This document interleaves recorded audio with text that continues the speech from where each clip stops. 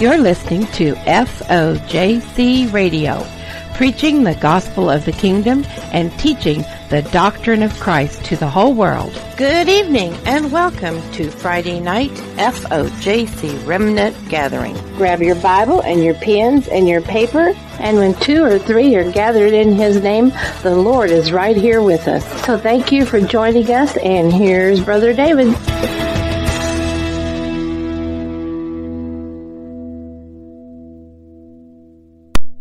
Good evening, everybody, and welcome to the August 28, 2020 edition of the FOJC Remnant Gathering. I am David Carrico, and for the next hour, we're going to be studying the Word of God. As always, we are so honored for all of you that are joining us for the study this evening. Our study for this evening is going to be entitled Sinning Away the Day of Grace. It will be taken from the 10th chapter of the book of Hebrews. Many things to pray about, as always.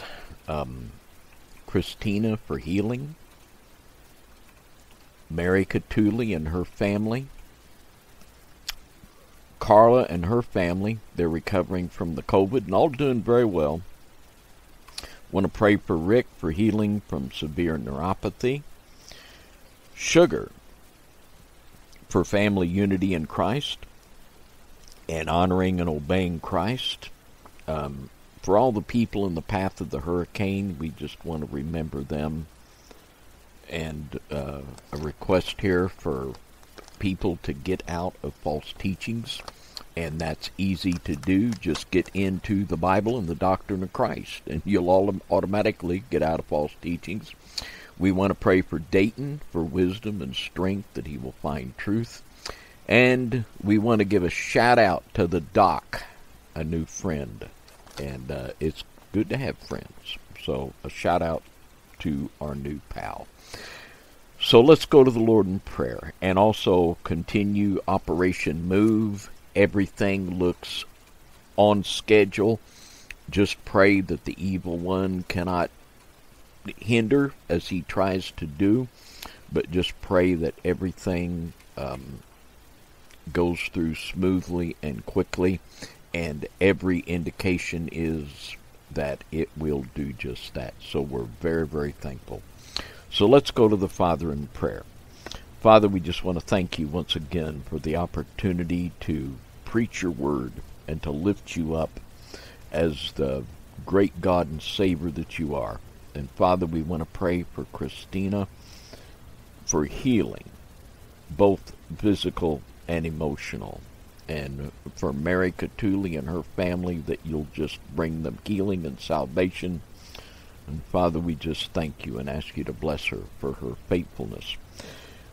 We want to pray also for Carla and her family, for her husband Jim, and for Everetta that there'll just be complete healing from this COVID. And Father, we thank you for the marvelous way you brought them through that. We want to pray for Rick for healing from severe neuropathy. That, Father, in the name of Jesus, you just touch that right now. Just let your healing touch be upon Rick right now in Jesus' name. And Father, we lift up Sugar to you. We pray for unity in her family.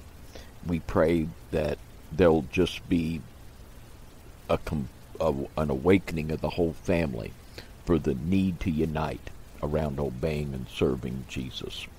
We want to pray for all of those, Father, in the path of this hurricane, that you'll just use this as an opportunity to turn people to you and know that uh, we are nothing and that you are everything, and to just use it as an occasion to surrender their lives to you. And Father, we just pray that more and more people will just renounce error and run from it and run to the truth in Jesus' name. And Father, we, we pray for Dayton. We lift him up that you'll just give him the heart to seek after you. And Father, we just pray in this teaching tonight that you'll just help me to bring it forth in clarity and truth. And we're going to give you the praise for everything good that happens.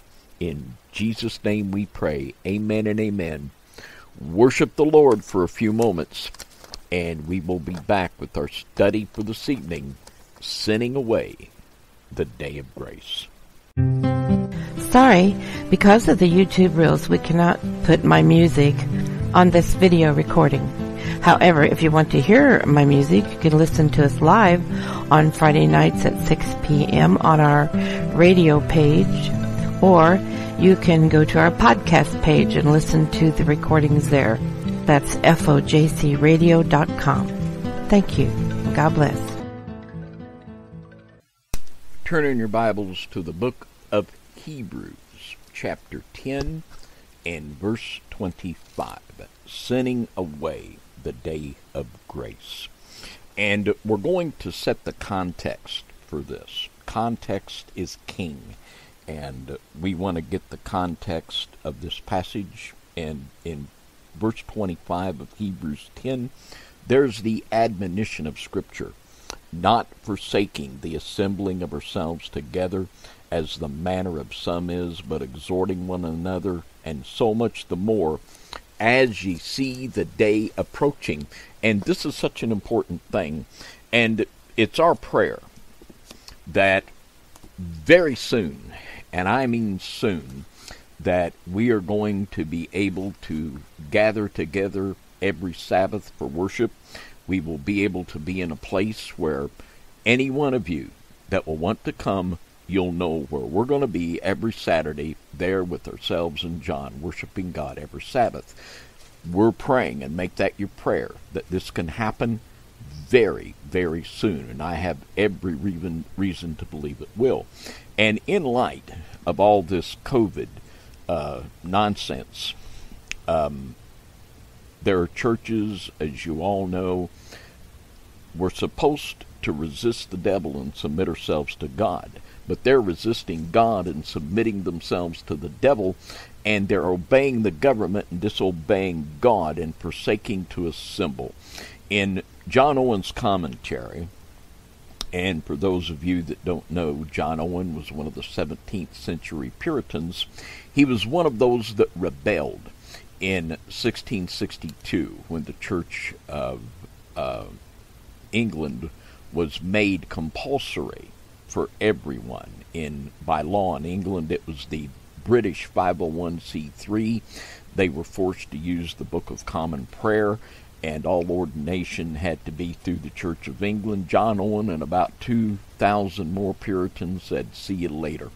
And in his commentary on Hebrews, and this was very real for him because they continued to assemble, and many of them, like uh, John Flavel's father, he died in prison of the plague. John Bunyan spent over 18 years in prison.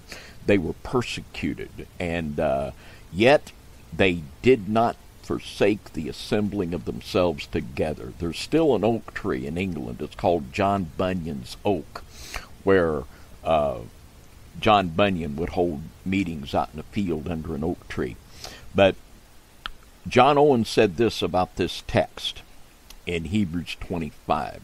He said, 1025. He says, To see evidently such a day approaching, and not to be sedulous and diligent in the duties of divine worship, is a token of a backsliding frame tending unto final apostasy.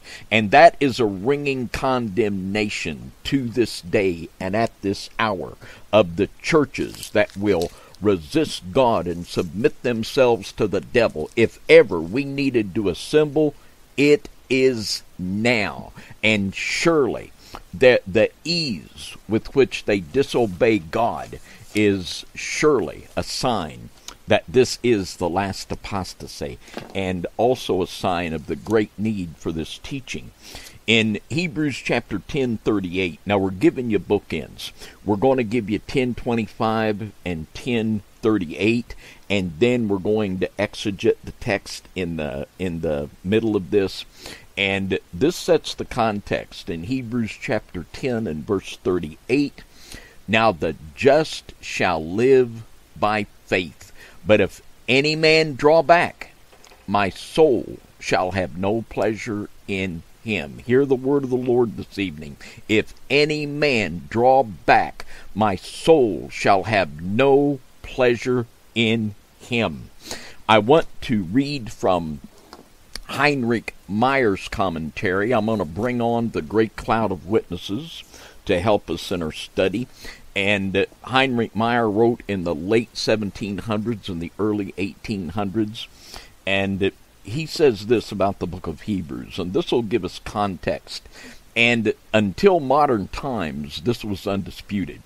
And uh, today, there is no book more hated by the Hebrew movement than the book of Hebrews. Many of them openly say they just want it out of the Bible. I mean, it, it's hated.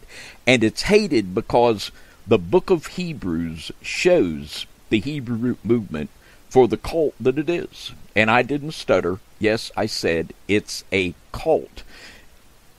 Heinrich Meyer, Volume 9, page 380. This is what he said.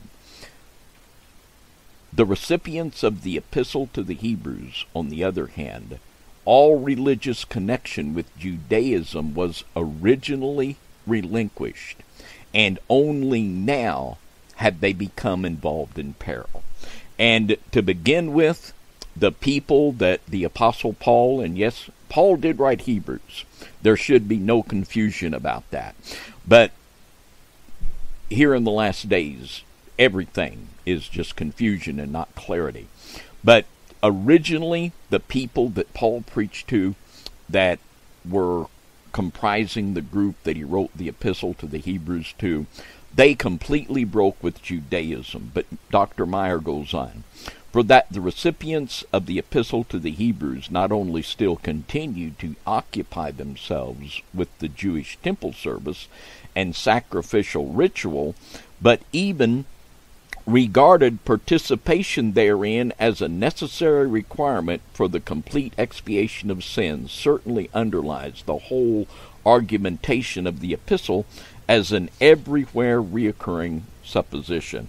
The epistle to the Hebrews was occasioned by the danger to which the Christians in Palestine, particularly in Jerusalem, were exposed of renouncing again their faith in Christ and wholly falling back again into Judaism. Now, this is the context of the book of Hebrews and of the study we're going to have, and we have to understand that. We're not talking in these scriptures about somebody that's weak in the faith we're not even talking about someone that has backslid. We're not just talking about someone that's struggling with sin, but we're talking about people that have renounced Jesus Christ and have gone back into the air of Judaism.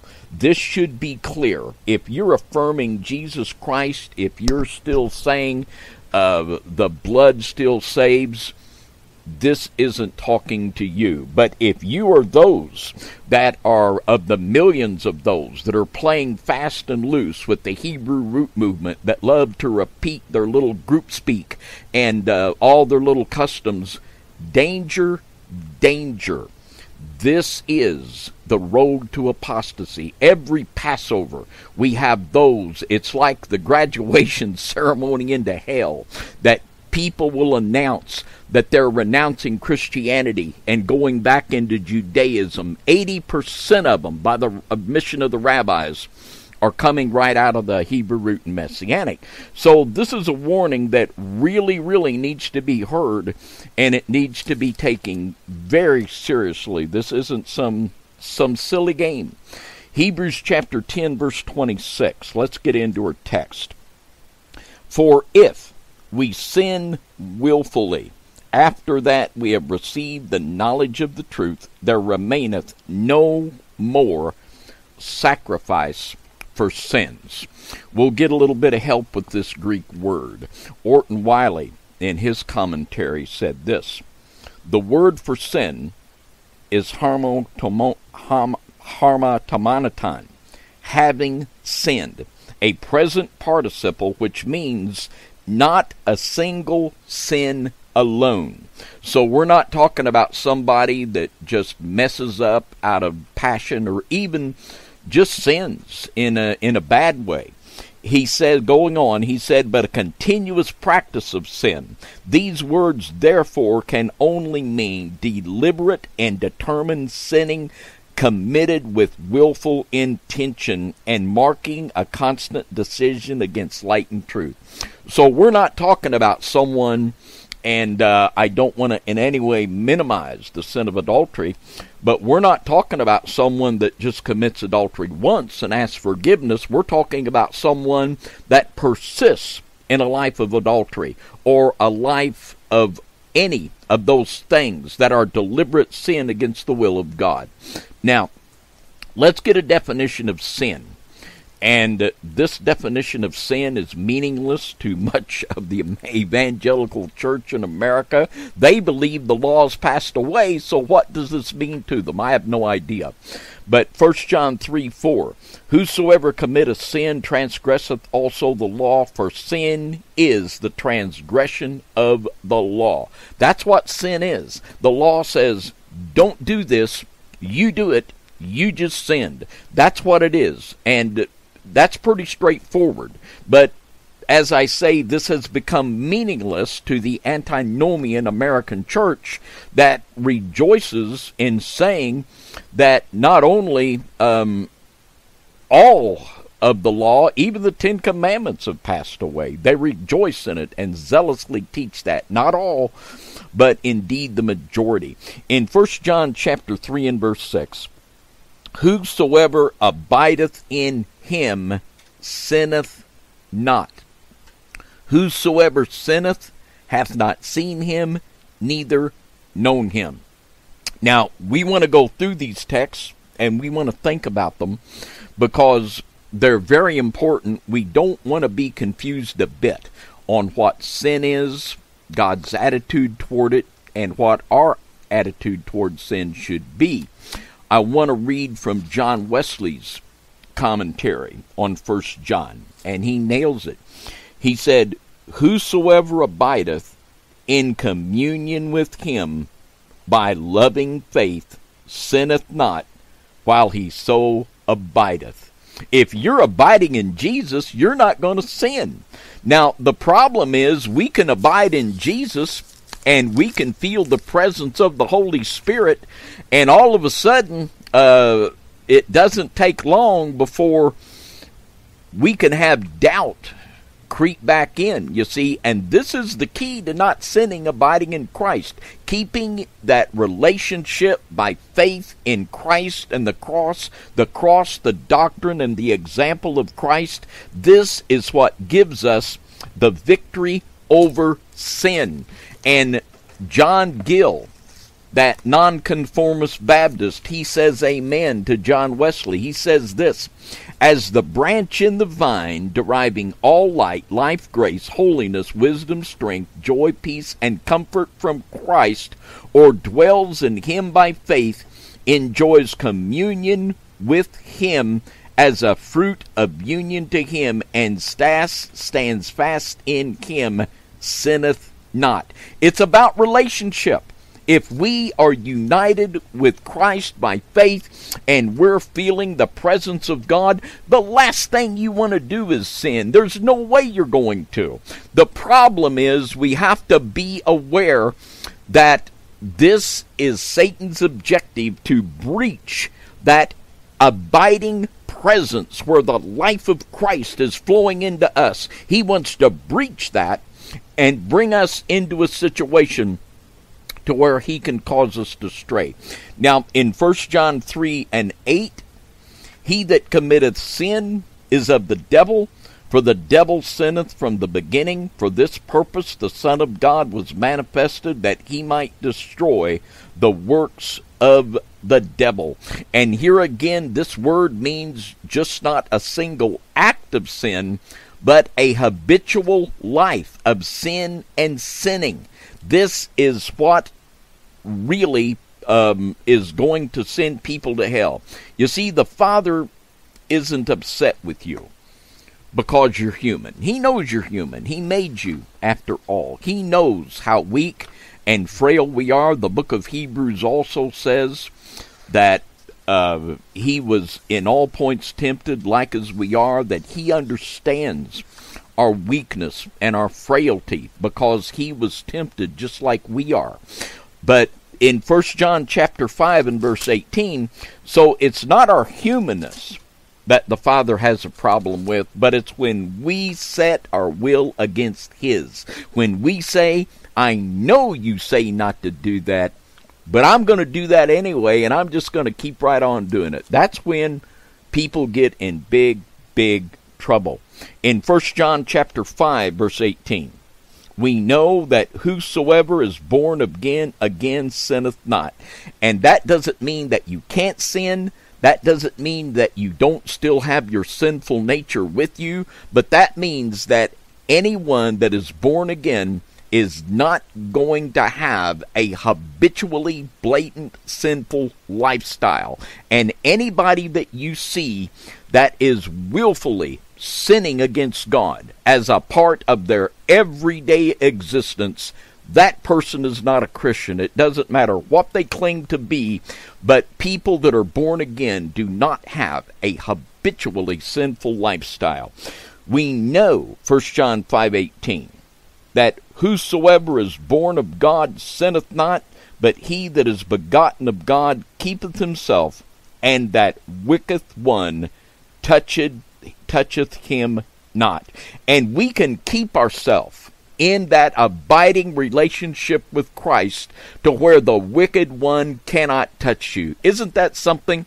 We all fail. We all fall short. But what a good thing it is to know that there is a place where the wicked one cannot touch us when we are abiding in Him and the life of Jesus Christ and His Spirit is flowing through us.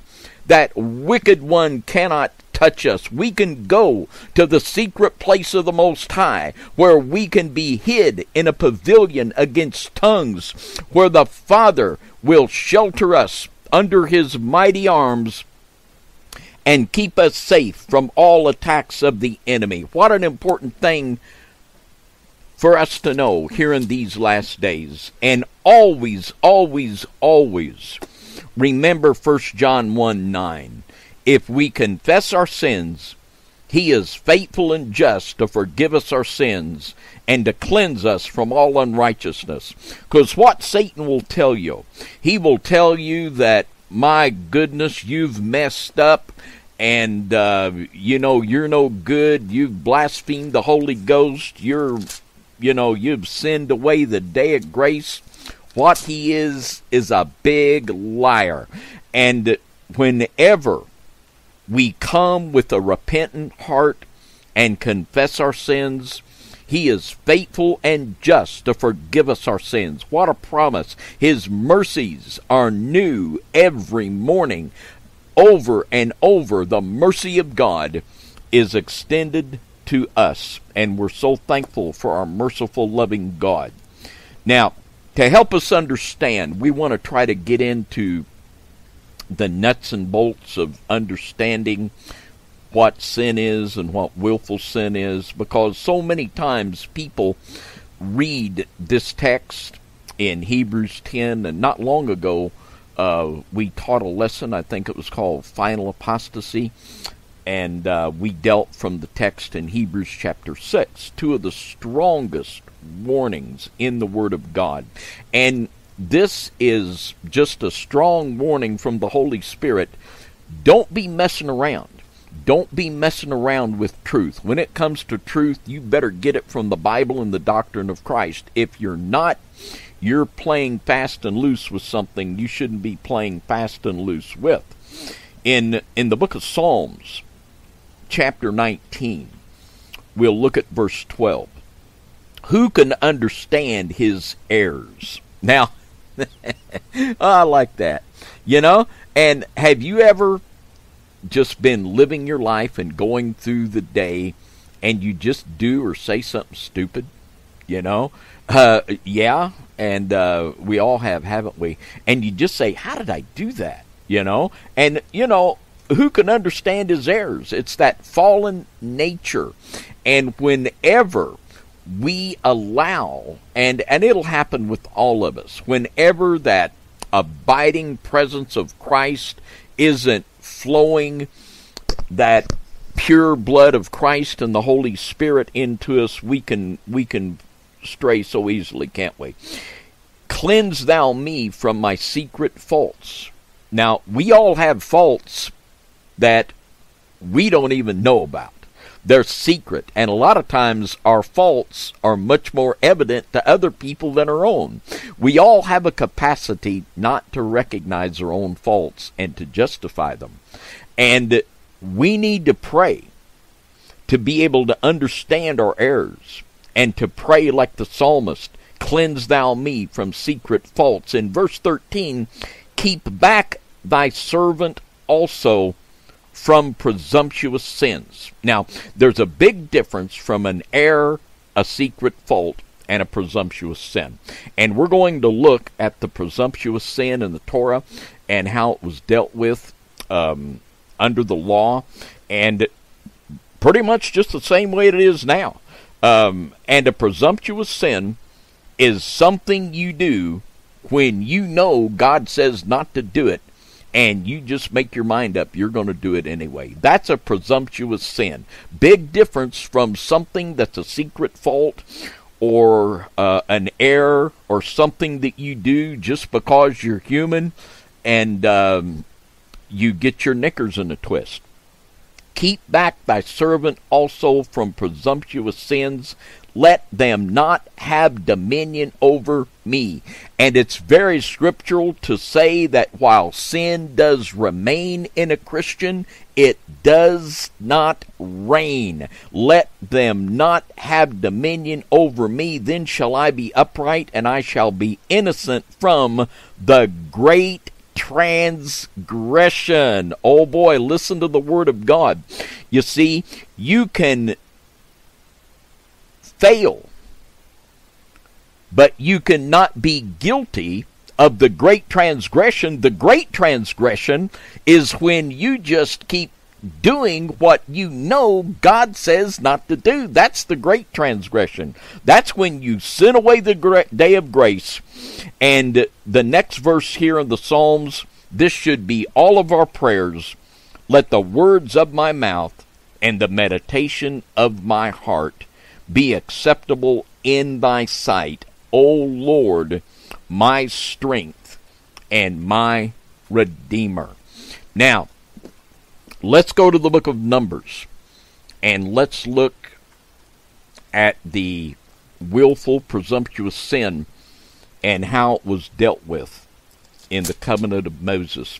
In Numbers chapter 15, let's begin reading in verse 25.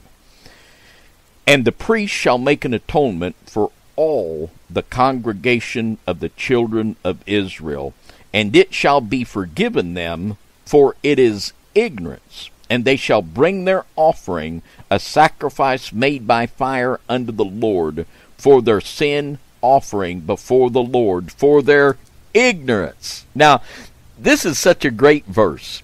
It's better than you have any idea because under the law of Moses, you could be forgiven for something if you did it out of ignorance. And I mean, just look at all the things there is under the the old covenant.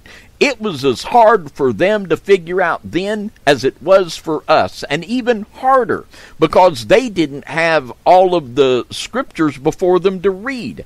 So at least give yourself as much grace now as they had under the law of Moses that when you do something out of ignorance that it's going to be covered in the atonement of Christ.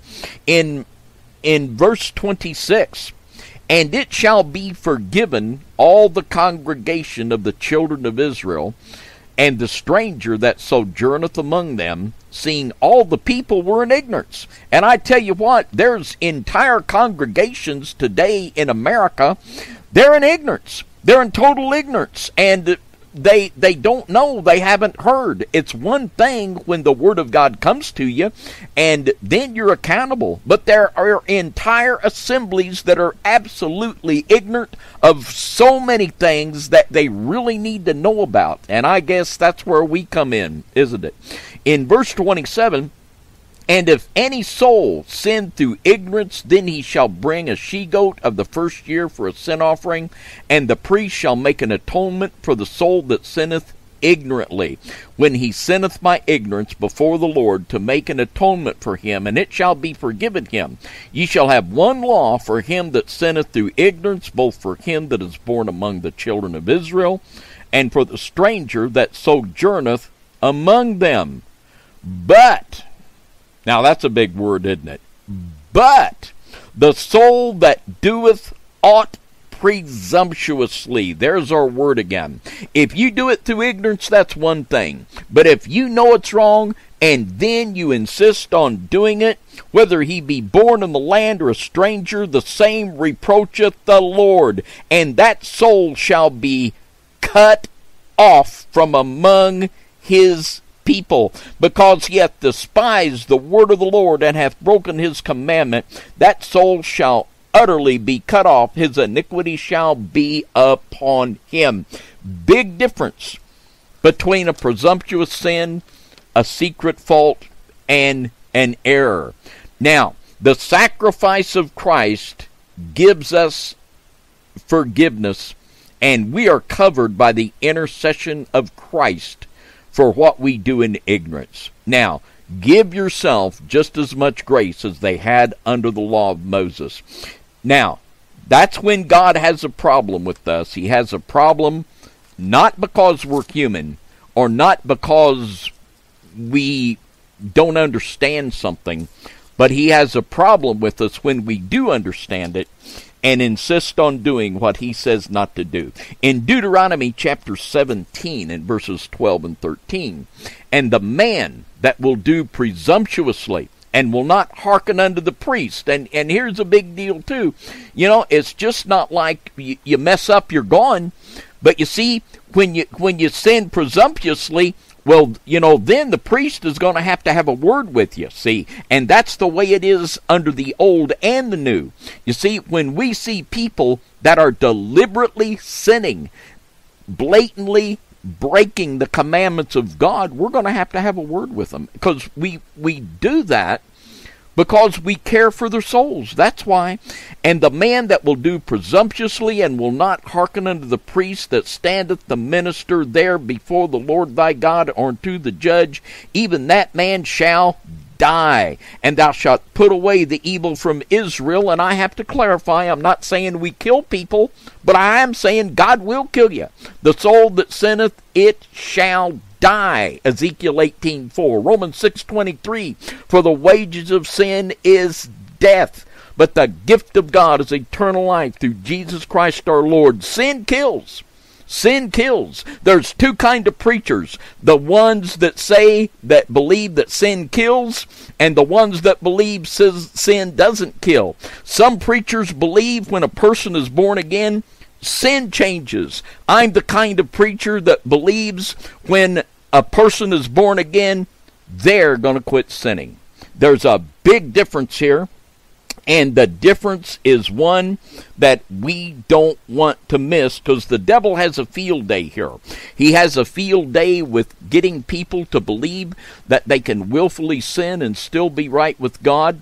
And he also has a field day trying to get people to believe because they're struggling and get weak and even backslide and commit presumptuous sin that they are forever lost and cannot come back. But God is married to the backslider. There are so many people out there that have failed, and we all have. You know, let's be real. But the Father doesn't want to kick you out of the army of God. He wants to bandage your wounds. He wants to put you back on the firing line.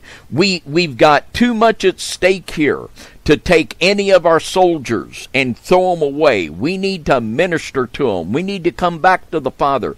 We need to get that pl- into that place where the life of Christ flows through us to where we abide in him and we sin not. In the epistle of Second Peter, chapter 2, and verse 9 and 10, the scripture says here, but ye are a chosen generation and a royal priesthood. You see, we are the priest. We are the priest after the order of Melchizedek, and holy nation, a peculiar people, that ye should show forth the praises of him who hath called you out of darkness into his marvelous light. Now, wasn't that a great scripture?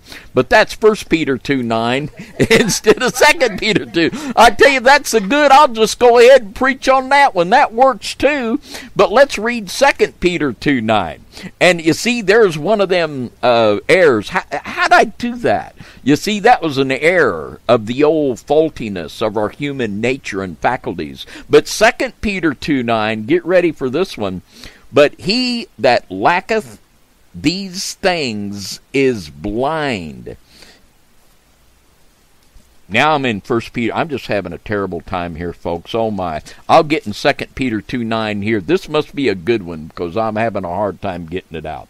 But we're going to get it out here for you. Second Peter two and nine. The Lord knoweth how to deliver the godly out of temptations and to reserve the unjust unto the day of judgment to be punished, but chiefly them that walk after the flesh in the lust of uncleanness and despise government. Presumptuous are they, self willed. You see, what big words here. They despise the true government and the authority that God sets in the body of Christ. They are presumptuous. They know they're doing wrong, but they're going to do it anyway. Presumptuous are they, self willed. This is, says it all, doesn't? Five times in Isaiah, Lucifer said, I will, I will, I will, I will, I will.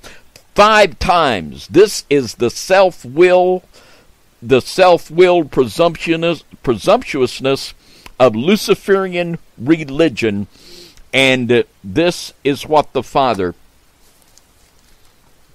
has a problem with. Now let's look at Romans chapter 7.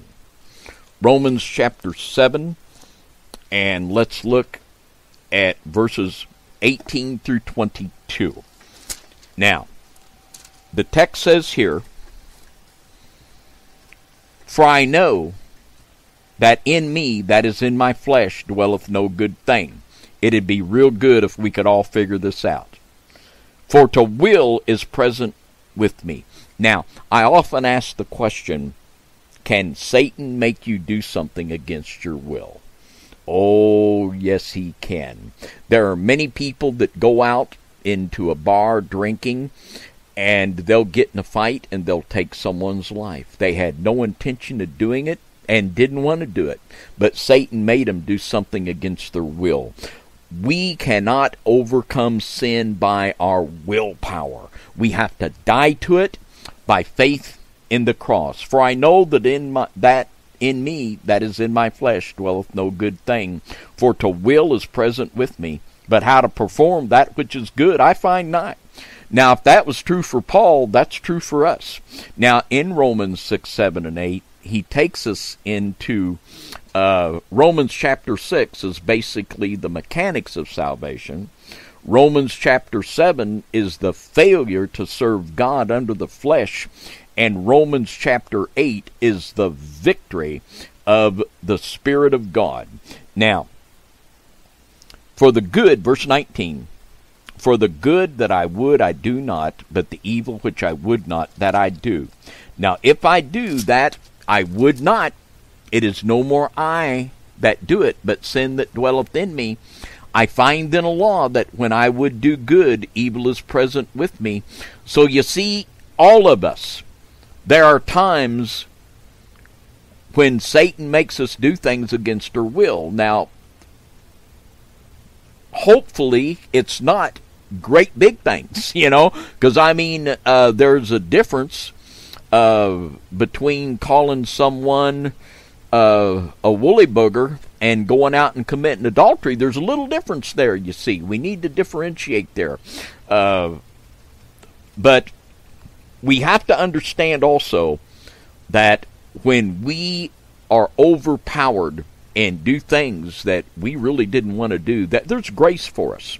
There is grace, there is forgiveness. This is not what we're talking about. And there are people that get into bondages, and here you come into bondages and strongholds and uh, alcohol, drugs, pornography. There's many of them. And this complicates the situation and we have to have deep repentance, cleansing of iniquity, and uh, in many cases deliverance for these strongholds to be overcome. But there is grace and deliverance, and when you're you, you can fall into a sin repent cycle. Now, let's be real here for a minute. How many of you have ever sinned a certain sin, asked forgiveness for it, and then done it again? Huh? We've all done that. Let's be real. And this is a sin repent cycle. And you've got to break that sin repent cycle.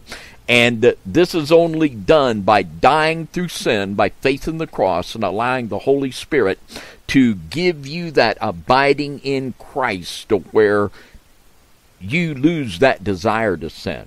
You see, people always do what they want to do.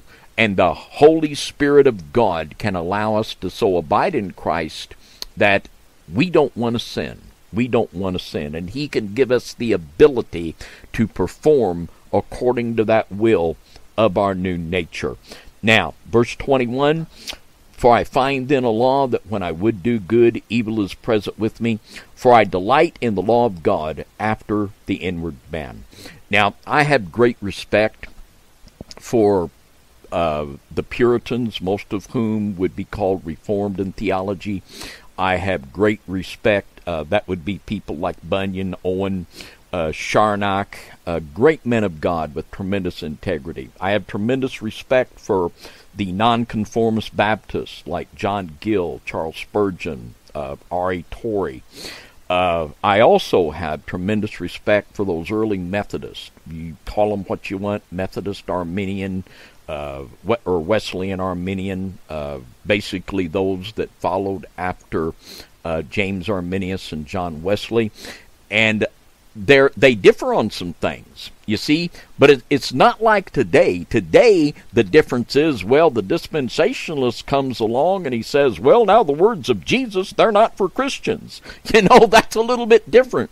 Or we have the Hebrew root movement come along and say, now uh, we've got to add the uh, the Kabbalah and the oral Torah to the Bible to get truth. And oh, they deny they do that, but oh yeah, you better believe that's just what they're doing. I haven't seen a one of them that doesn't do that. It's just how much they drag in. That's the only question. But I many times I'll come down on the side of John Wesley against the reform position, but this is one time I got to come down with uh, with the reform people and the Baptist. And th- the question is this in verse 22 For I delight in the law of God after the inward man. Now, who is being spoken to there? Is it talking about a Christian or is it talking about a non Christian?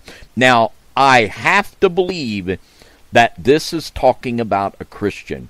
And a lot of people say, well, how could the Apostle Paul, that can't be the Apostle Paul wanting to do good and couldn't do it and having his will overcome? That is absolutely the Apostle Paul. That's you, that's me, that's the Apostle Paul, that is everybody. Now, let's have one final word from John Gill, and we're going to take a break. But this is what he said. You know, and in this text it says, I delight in the law of God after the inward man. Have you seen many unsaved people delighting after the law of God? The people that say they're born again, they don't delight in the law of God. That is not happening, folks. And Brother Gill said this This an unregenerate man cannot do. And I have to say, Amen. If you're not born again, you don't delight in the law of God. This an unregenerate man cannot do. he doesn't like its commands. They are disagreeable to his corrupt nature. And as it is a threatening, cursing, damning law, it can never be delighted in by him. A big amen to that. We're going to take a break and we're going to be right back with a lot more on the FOJC Remnant Gathering.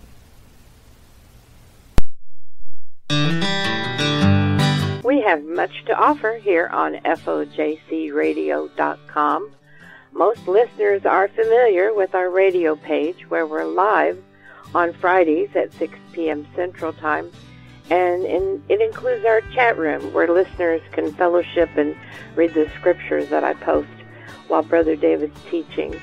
If you can't catch us live, we offer our podcast page with the latest audios of our remnant gatherings or these same audios are made into videos and now videos on two new video channels at www.brighteon.com. That's B-R-I-G-H-T-E-O-N dot com. It's our new free speech channel. And also our videos on Underground Church, FOJC, on YouTube. That's the channel that John set up. And you can also find our videos on the Doctrine of Christ series on Jimmy Vision. That's www.jimivision.com. And uh, that Jimmy also has our podcast for our Doctrine of Christ series. Uh, and all you got to do is go to your favorite podcast place and type in the Doctrine of Christ and see what comes up. On our resources page, you can find a list of our books, CDs, DVDs, free Bible studies, and tracts that can be printed or read. Check out our online Bible school or our music page. Both include easy to click audio files. You can find the latest news on our ministry news page that also includes a link to our free books. I've tried to include answers to frequently asked questions on our Hot Topics page. We also try to help our listeners find local fellowship in their area with the Remnant Locations page. And for those who struggle with abuse issues, I offer my Ritual Abuse and Healing page. Our contact page has a short order form, some links for your love gifts, and of course, our contact information. And most important is our God Wants to Save You page. If you need help in leading someone to the saving mercy and grace of our Lord Jesus Christ, there are plenty of uh, things to choose from on that page, including a little prayer that I wrote uh, to help lead people to really accepting the Lord and inviting Him to be their Lord and Savior. It's all there, all free. So please use these many things that we offer on our website. We appreciate your support and have tried to make our site easy to navigate. But if you have a problem finding something, just email me at lastdayschurch at cs.com and I will be happy to help. Blessings to all our listeners and thanks again for your prayers and encouragement. Now back to tonight's message with Brother David Carrico on FOJC Radio. Welcome back to the FOJC Remnant Gathering.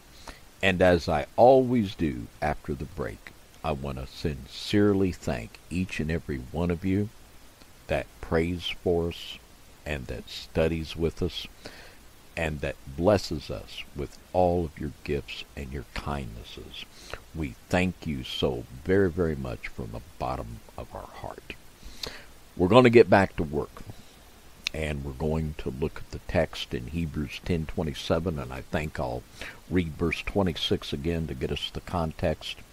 For if we sin wilfully after that we have received the knowledge of the truth there remaineth no more sacrifice for sins but a certain fearful looking for of judgment and fiery indignation, which shall devour the adversaries. You know? And wh- what are people thinking? You know, uh, there are so many people in churches today because they have adopted uh, one form or another of uh, unconditional eternal security doctrines. They think they can just sin away and sin away and sin away, and they might lose lose a little bit of reward in heaven or something, but you know they think it's going to be all good. I mean, what are you thinking, really? That there's not if you're going to willfully sin and do what you know the Father says you're not supposed to do, you think there's not going to be a big day when that's going to come to a screeching halt?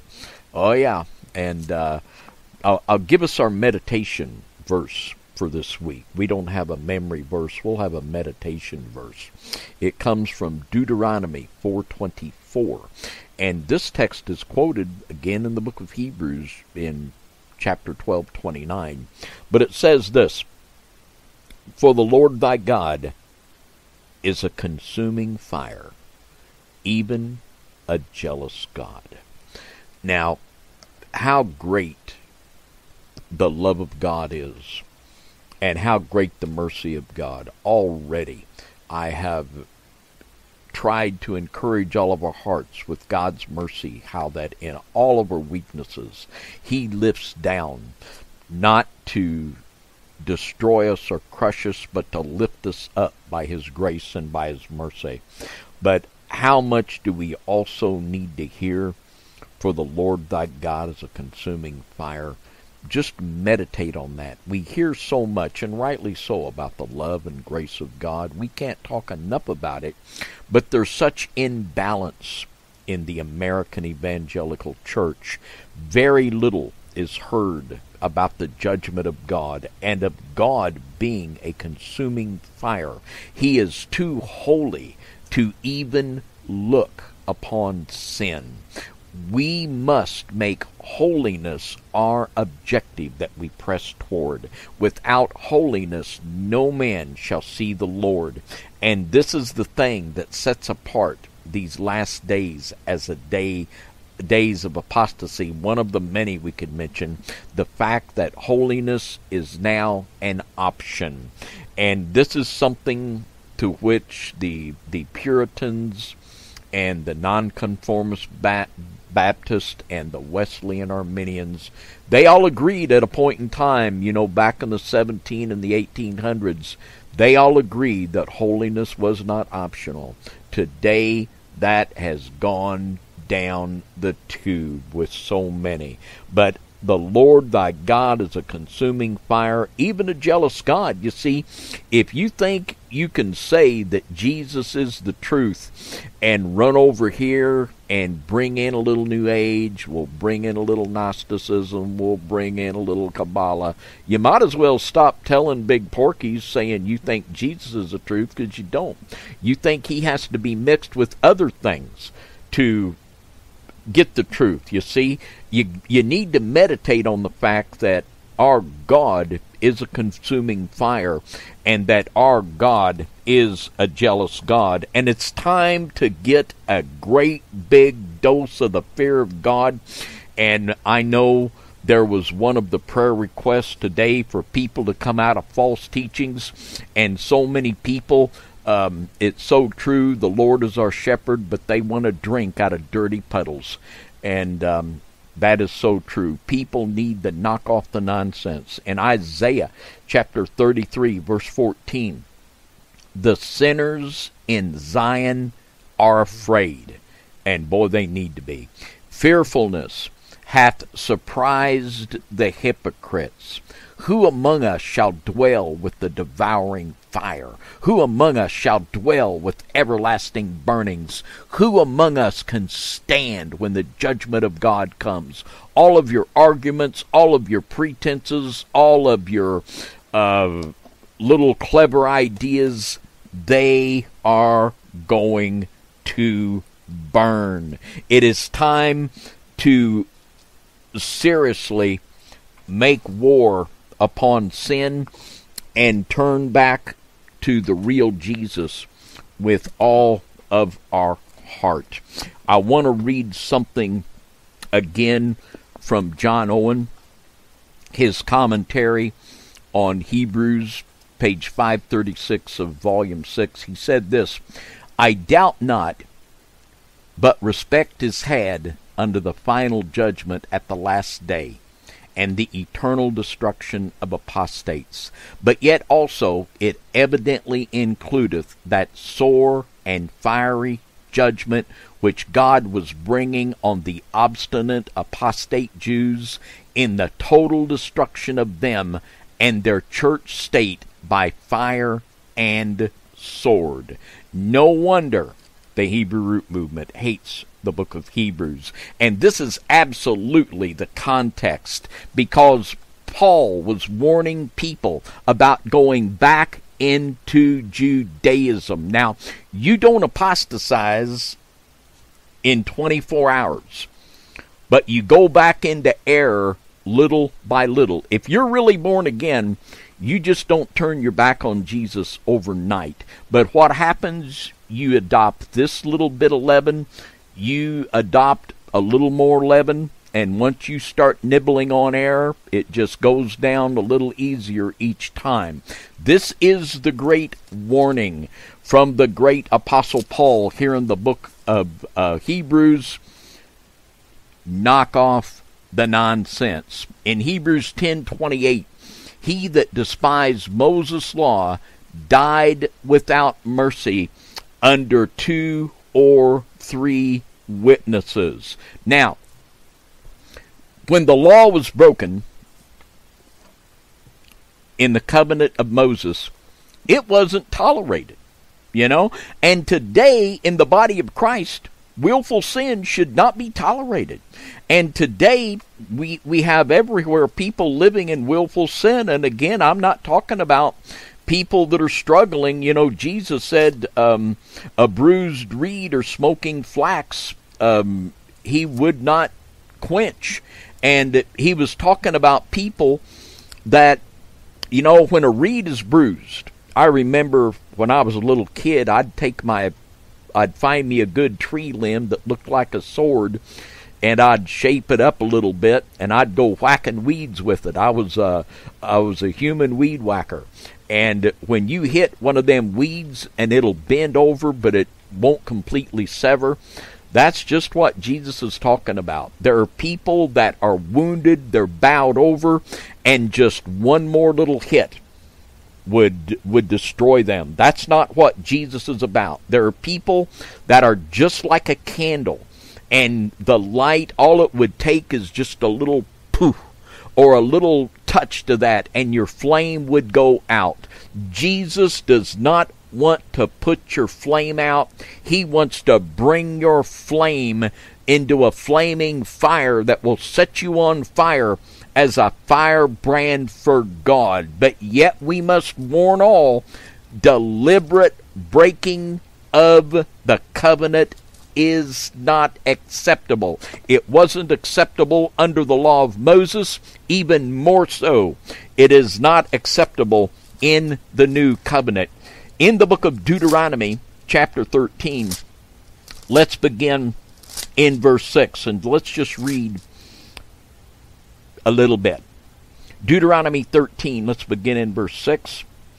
If thy brother, the son of thy mother, or thy son, or thy daughter, or the wife of thy bosom, or thy friend, which is as thine own soul, entice thee secretly, saying, Let us go and serve other gods, which thou hast not known, thou nor thy fathers. Now let's just take a breath here for a minute. This is exactly what is happening today and the Hebrew root movement is the poster child for this. They are lifting up Metatron, they are lifting up Ein Sof, they are lifting up Barbelo, and there is no shame on their faces when they do it. Not only that, but other people will run to them to reinforce them in their error. This is nothing but rank abomination and violation of the covenant. In verse 7, namely of the gods of the people which are round about you nigh unto thee, so far off from thee, from the one end of the earth even unto the other end of the earth.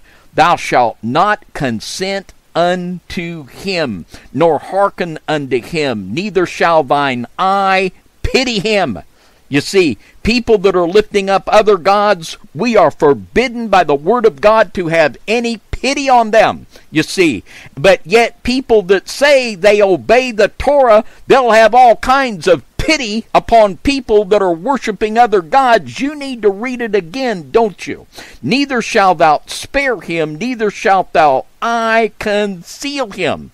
You see, they go along to get along, they cover up, they ignore blatant idolatry. This is not the Word of God, and a great big warning must be given in no uncertain terms. This is dangerous. This is, what can I say? The Word of God says it. The Word of God is clear. There's not any wiggle room is here.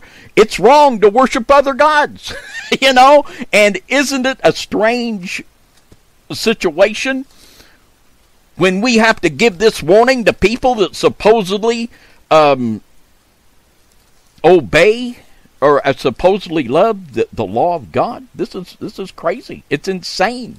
Um, in in First Timothy five and twenty four. The scripture says here, some men's sins are opened beforehand, going before the judgment, and some men they follow after. And there are some people, they're judged for what they do right here in this life. The judgment of God falls on them. That's not true with everybody.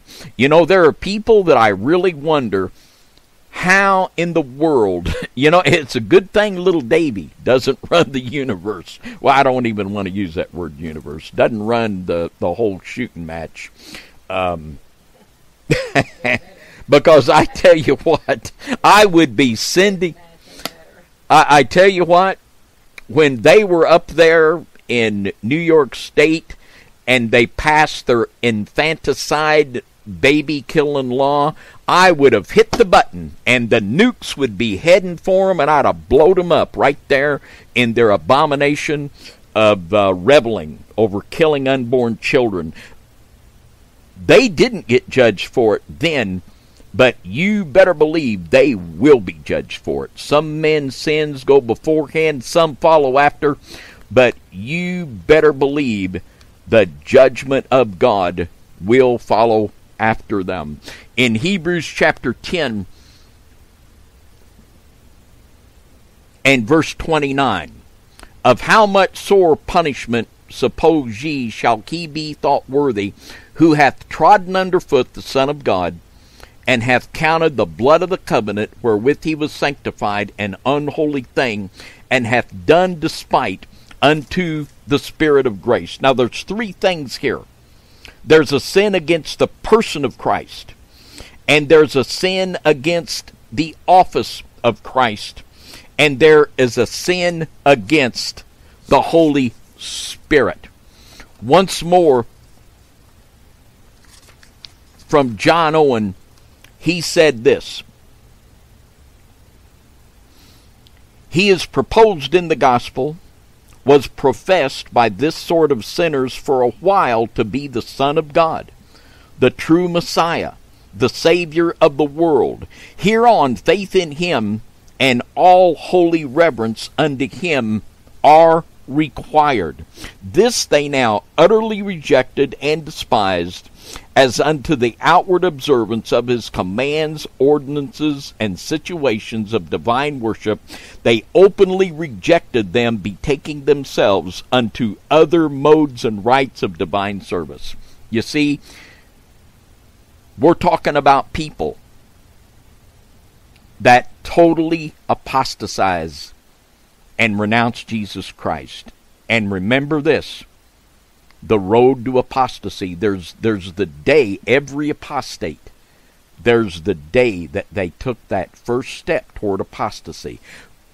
Return 100% to the real Jesus, to the real Word of God, and believe the doctrine of Christ, because that is the only doctrine that we have.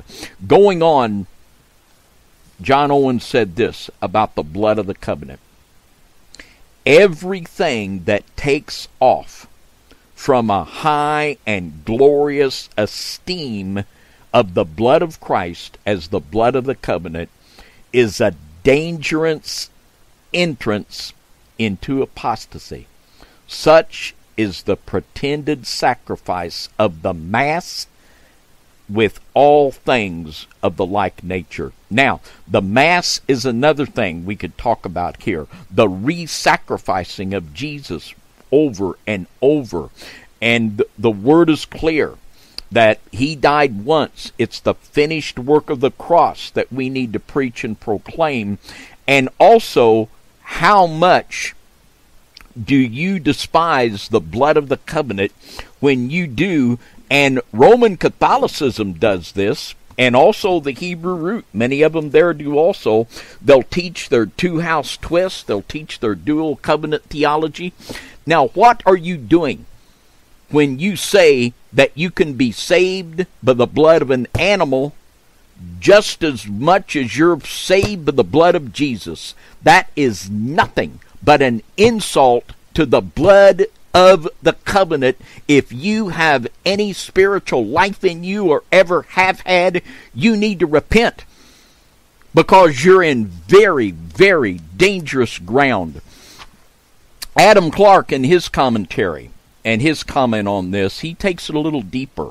He says this The blood of the covenant, an unholy thing. The blood of the covenant means here the sacrificial death of Christ, by which the new covenant between God and man was ratified, sealed, and confirmed, and counting this unholy or common intimates that they expected nothing from it in a sacrificial or atoning way. How near to those persons and how near to their destruction do they come in the present day who reject the atoning blood and say that they expect no more benefit from the blood of Christ than they do from that of a cow or sheep. You can sin against the blood of the covenant by totally renouncing it and relying on some other way of salvation. Or you can do despite under the blood of the covenant by saying that you can be saved by the blood of a bull just as well as you can through Jesus Christ. When Jesus said, I am the way, the truth, and the life. No man cometh unto the Father but by me. He meant just what he says. In the book of Acts, in 4:12 when it says neither is there salvation in any other for there is none other name in heaven given among men whereby we must be saved it means just that and when you begin to proclaim that you can come by the way of Jesus and oh yeah you can come another way too this is blaspheming the blood of the covenant. If you are capable of it, you need to repent and you need to repent very, very quickly.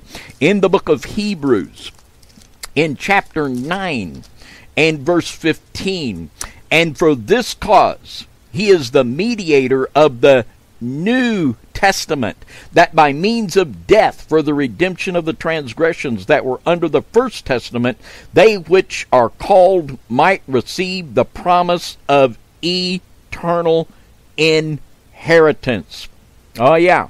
Now, in Matthew, in Matthew chapter 26, we'll read the verse 27 and 28. And the text says here, And he took the cup and gave thanks and gave it to them, saying, Drink ye all of it, for this is my blood of the New Testament, which is shed for many for the remission of sins. It is all about Jesus. It's all about the blood. Jesus was the Lamb of God that took away the sin of the world. And there are people, and here again, this is something, and it's taught. You know, the Hebrew rooters think they made it up. It come from Catholicism. The Catholicism before them taught, and of course we could we could take it back many many years. This heresy it's it's been around, but Catholicism. I could read you right in the Catechism how that uh, Muslims are saved, and uh, you know it, it's just salvation without Jesus. That's just what it is. Let's read another text here. Hebrews chapter 8, and let's read verses 7 through 13. And I think I'm going to have to wind it down here. Hebrews chapter 8, verses 7 through 13.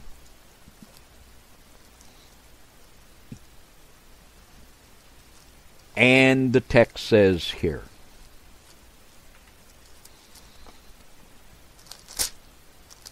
Hebrews 8, beginning in verse 7. For if that first covenant had been faultless, there should have there sh- then should no place have been sought for the second. For finding fault with them he saith, Behold, the days come, saith the Lord, when I will make a new covenant with the house of Israel and with the house of Judah. I have listened to teachings of people, if I would say their names, many of you would recognize them, in the Hebrew root movement that say, and this is common fare, that the first covenant never ended. It just kept going, and this is what we call dual covenant theology. And if that be true, which it's a lie, well, you can come in either way you want, and boy, that's a big lie. And the same way they say now the new, the first covenant didn't end, but in the Word of God, and this is why they hate the book of Hebrews, when the new covenant came in with the blood of Jesus, the holy Lamb of God, there was no way to come in to the Father through that first covenant anymore. And people that were saved under the old covenant, they were saved by looking forward in faith to the Messiah that would come. And this is just this is just so dangerous. I, I don't have words strong enough to emphasize it to you.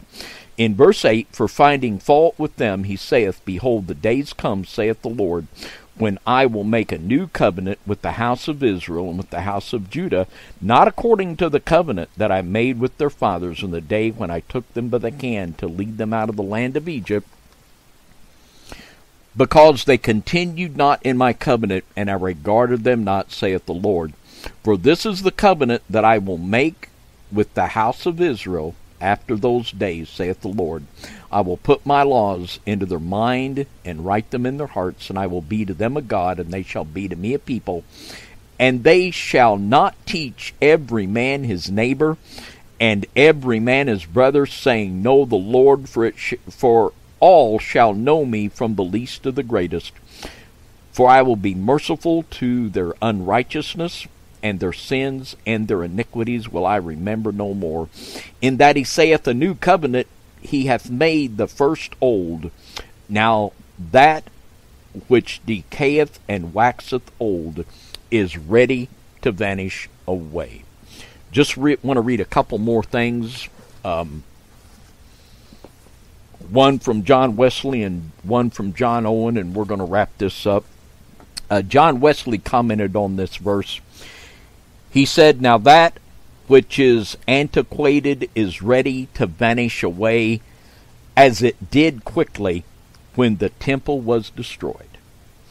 And uh, after that, you know, this was the Father's big statement on it all, wasn't it? When he, with the judgment of God, and Jesus prophesied it, didn't he? He prophesied that that temple was going to be destroyed, and it was. And it's amazing to me how people want to try to draw life out of dead men's bones. And um,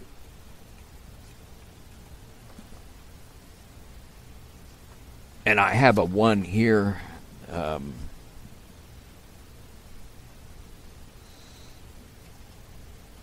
And I tell you what, I'll just have a word here, a moment of rare transparency and brutal honesty. I've had so many bookmarks in my John Owen commentary here that I think it fell out. So, but basically, John Owen said the same thing as John Wesley did. He said that uh, this was nothing but the absolute statement of the Father in the judgment of the Jews on their sacrificial system where they were trying to continue to bring people to salvation through their animal sacrifices and Levitical ritual. All right. Well, I think we're going to wrap it up here. And um, I just, again, I want to thank each and every one of you for studying with us. And uh, the Word of God is really um, pretty clear. We just really need to read the Word of God on our knees and get a good, healthy dose of the fear of God, and we're going to be just fine. All right, tomorrow night I'll be in the studio with John, and uh, we will be doing the Midnight Ride, which is one of the highlights of my week every week. Uh, Jimmy Vision Season 3 is airing on Jimmy Vision YouTube channel. Remember our Brighteon channel. Uh, this teaching will be up on Brighteon very soon, uh, later this evening. Uh, it'll be uploaded to our Underground Church channel in a few days. It'll be up first on Brighteon and then on the Underground Church um, YouTube channel. And here again, I want to get people oriented to going to the Brighteon channel because we will be able to stick around longer on Brighteon than we will on YouTube, I guarantee you. So I'm always uh, zealous to be able to push that. We're the poster child for that, aren't we? Uh, but anyway, God bless you all. Let's just close out in a word of prayer. Father, we just thank you that you're such a loving God and you're such a merciful God. And Father, we also thank you that you're a holy God. And Father, you told us to be holy like you were.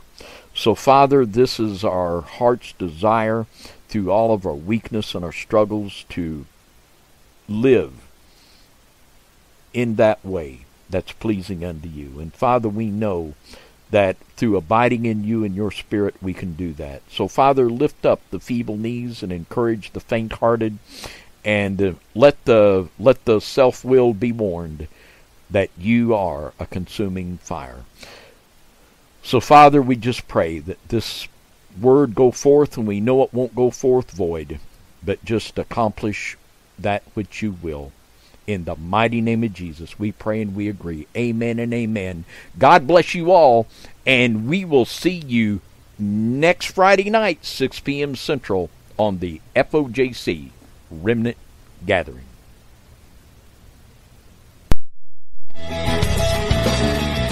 Thank you for being a part of our Friday night FOJC Remnant Gathering. You can contact us at FOJC Post Office Box 4174, Evansville, Indiana 47724-4174. Or you can check our website out at www.fojcradio.com or you can email us at lastdayschurch at cs.com or you could call us at 812 473 3735. Thanks and God bless.